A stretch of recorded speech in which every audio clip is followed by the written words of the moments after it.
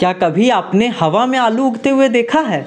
अगर नहीं तो वीडियो में बने रहें, आपको दिखाते हुए हैं और पूरी खबर भी बताते हैं। नमस्कार, मैं साहिल अस्थाना और आप फिर से देखना शुरू कर चुके हैं सोशल संवाद। दरअसल देश के किसान अब बिना ज़मीन, बिना मिट्टी के हवा में ही आलू उगा सकेंगे। वहीं पैदावार भी 10 गुना ज़्यादा होगी। यकीनन अब किसान परंपरागत खेती के बजाय एरोपोनिक तकनीक के प्रयोग से कम लागत में आलू की ज़्यादा फ़सल उगाकर ज़्यादा मुनाफा कमा सकते हैं। केंद्र द्वारा किसानों के लिए एक नई विधि निकाली गई है, जिसमें बिना ज़मीन, बिना मिट्टी के हवा में ही आलू उगेंगे और पैदावार भी दस गुना ज़्यादा होगी। हरियाणा के करनाल स्थित बागवानी विभाग के तहत आलू केंद्र उन्नत खेती खेती करने में अपना अहम योगदान दे रहा है। विशेषज्ञों ने बताया कि इस सेंटर का इंटरनेशनल पोटैटो सेंटर के साथ एक एम हुआ है।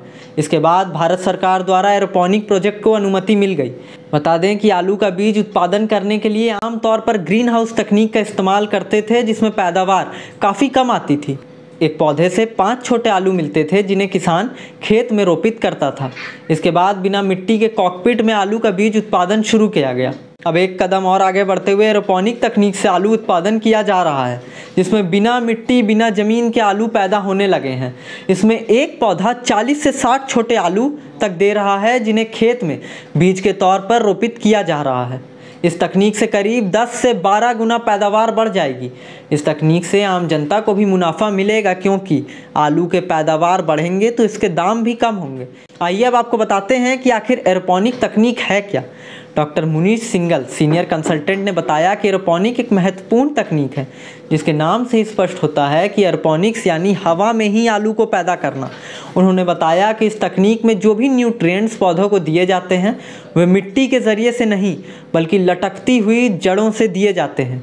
इस तकनीक के ज़रिए से आलू के बीजों का बहुत ही अच्छा उत्पादन कर सकते हैं, जो कि किसी भी मिट्टी जनित रोगों से रहित होंगे। आइए अब आपको बताते हैं कि आखिर इस तकनीक की खासियत क्या है। इस तकनीक का खास फ़ायदा ये होगा कि कम लागत में ही ज़्यादा फ़सल हो पाएगी। साथ ही बताते चलें कि इस तकनीक से आलू 10 गुना ज़्यादा पैदा होंगे, पहले के मुकाबले में। ऐसे में आने वाले समय में ये देखना और जानना रोचक होगा कि इस तरह के कितने और नए प्रयोग किए जाते हैं। वीडियो पसंद आए तो लाइक करें, शेयर करें और देखते रहें सोशल संवाद। धन्यवाद।